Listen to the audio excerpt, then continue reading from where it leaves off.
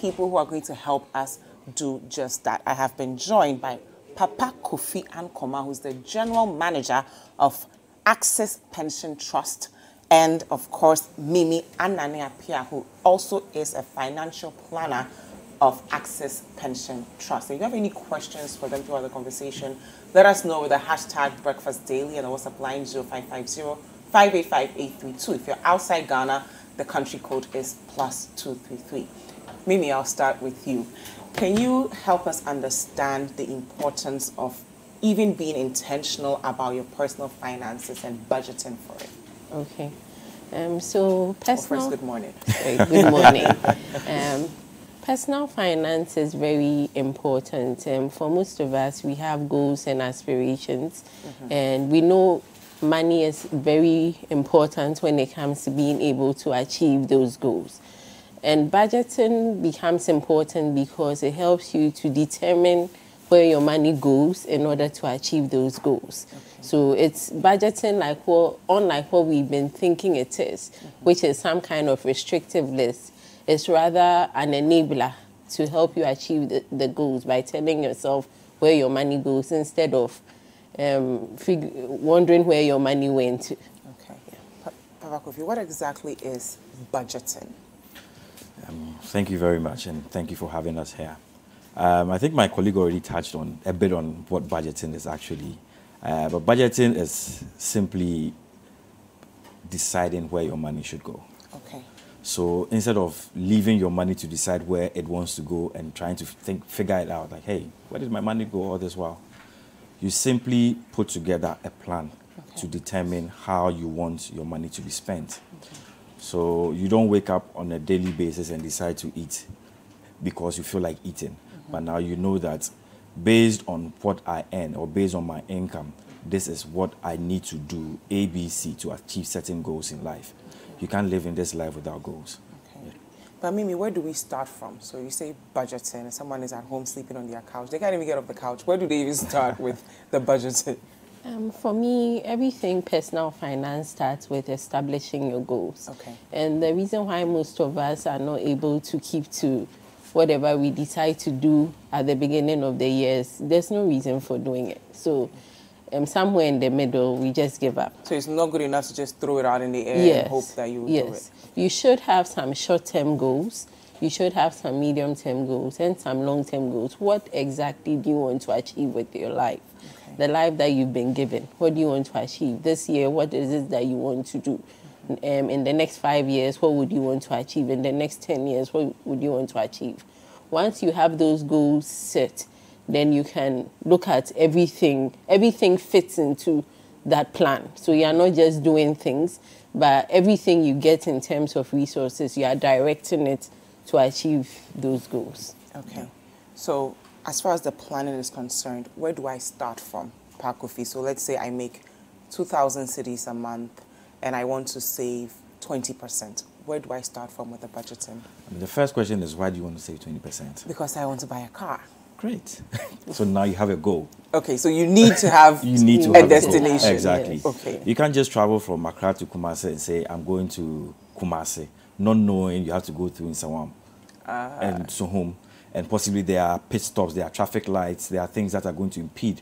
There's possibly no fuel in your car. Okay. And you decide that, hey, I just want to go to Kumasi. You don't even have a car. You don't have money to even board a bus. Mm-hmm. These are all things you need to plan. So now you need to know, okay, what is my ultimate goal? Okay. The next thing is, where do I stand?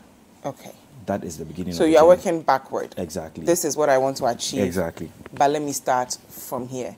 And how will that now drive you to stick to it as the days go by? Great.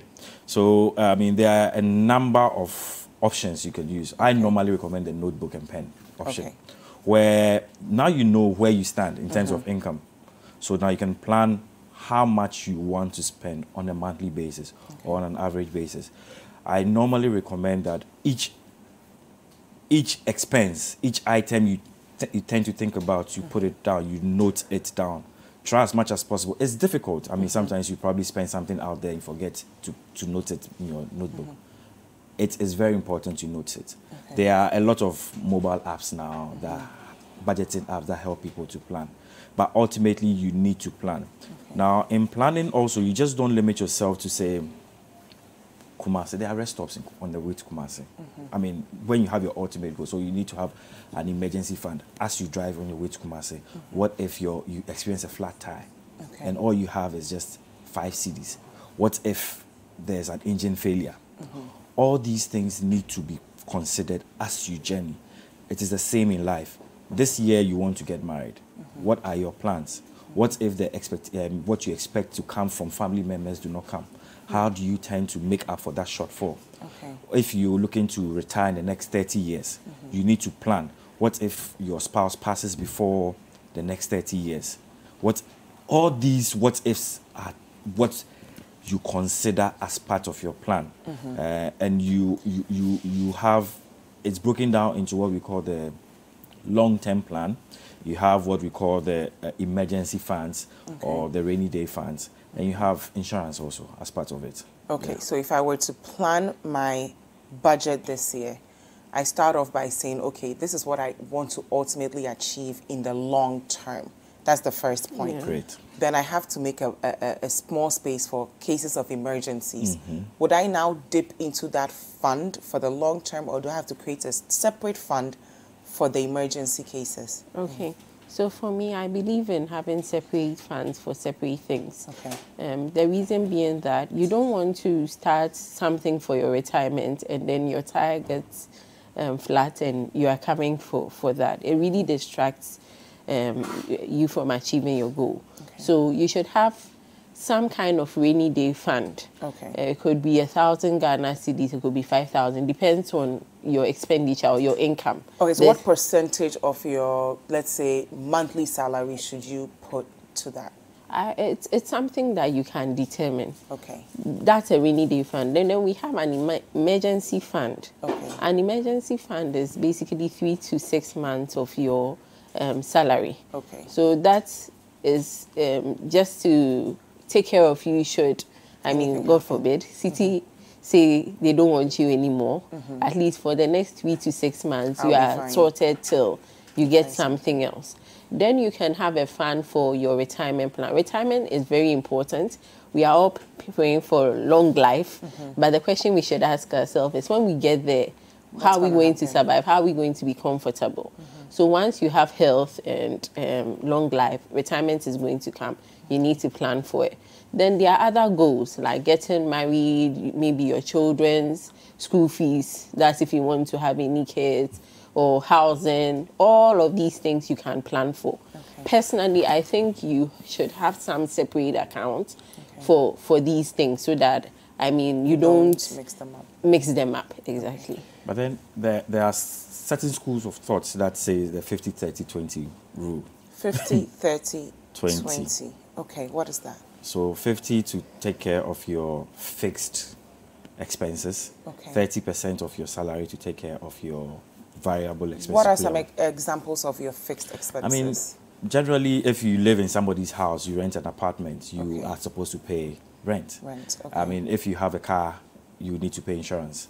Um, so even if it's rent, third party, your yeah, electricity school bill, fees, water bill, school all those things, all the you things you have to pay pay. every month. Yes. Okay. Yeah. Now, when it comes to variables, this month you can decide to buy clothes. Next month you might not want to buy clothes. Okay. And depending on where you want to buy the clothes or what type of hair you want to do, you look at all that. Okay. I mean, 20% of your salary naturally should go into savings. People always complain, but the salary is never enough. The truth is, the salary is never going to be enough. So you ask yourself, at what point can I save?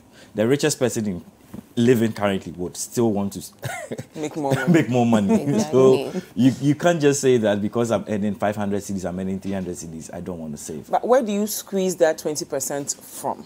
So let's say you are in a job, like both of you look very beautiful today. Thank you. You have to invest money in that. So you can't tell Mimi, squeeze some money out and wear the same outfit you had yesterday. So where do you get that 20% from? You fit your coat according to your pocket. Okay. How do you do that practically? So um, let me be very practical. Okay. Um, I've come to believe that there are ways and means. I mean, you need Wherever to be, there's a will, there's a yes, way. you need to be smart. Okay. You need to know. Um, you need to know. I mean, the different ways you can get to sort yourself out. Mm-hmm. So, for example, maybe coming to Italy, going to buy clothing is not the best option for you. Mm. You can go to Bend Down Boutique if that is what Makola you Accra can afford. far from here. Take some time, look for the good clothes, wash it well, iron it. Nobody knows. Yeah. So you don't impress anybody. And I think it's easier when you know what you are driving at. Okay. Than if you don't know where you are going, then of course any little pressure will get you distracted. So I'm, I'm, I, I- I just want to chip in. I remember some years back when um, I was just about starting work, and I used to say, "Oh, at the time, thousand cedis was quite good." It's like if I earn thousand cedis, I'll be very well. It's still good depending on where you're sitting. but continue. well, it's, continue. it is good actually. then this um, senior colleague Mm-hmm. was like, "Are you sure thousand cedis is good?" Because you end up buying shirts. It's like, "Oh no, I don't need all those expensive shirts I can buy."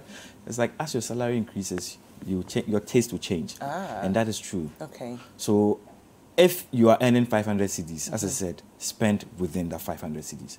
If you're earning 1,000 cedis, don't spend like you're earning 10,000 cedis. Okay. Let those who earn that spend like they spend. Mm-hmm. You don't have to impress anybody. Okay. You look at yourself and work within your means. Okay. Mimi, how do you stay on track? So let's say you've planned what you're going to do throughout the year, and should you give yourself, should you celebrate small wins before you reach your ultimate goal? Yeah, it's it's very important to celebrate small wins. Sometimes it's tough. Mm-hmm. It's tough to stick to those goals. So maybe you do well, you buy yourself something small to celebrate.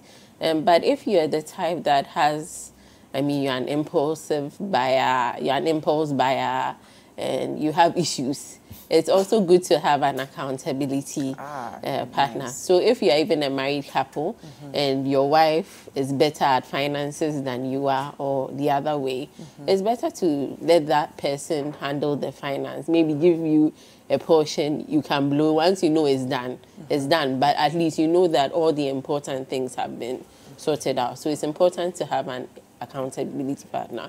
And maybe sit down with a financial planner like myself, of course. Where do we find you? I just mentioned Cecily Gone. Okay. Yes, okay. uh, to draw some kind of budget. Sometimes the budgets are too tight. Like you, you have 50 cedis for en- um, entertainment, and maybe you are dating. You know that there isn't much you can do. So as much as possible, let it be flexible. Okay. I mean, leave room for you know flexibility, so that it's not something that is difficult to to to follow. Achieve. Yes, or difficult to achieve.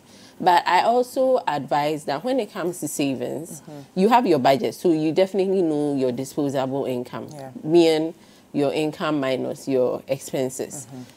When it comes to saving, as soon as your salary lands in your account, make sure you have an automated payment instruction. Let it go Nice. Okay. let it go. Then whatever is left, we, we, we um, spend that on whatever it is. But that makes, that ensures that you are not tempted, To especially spend, if you don't have, if you are not disciplined or you don't have the self control. Make sure you get yourself a direct debit.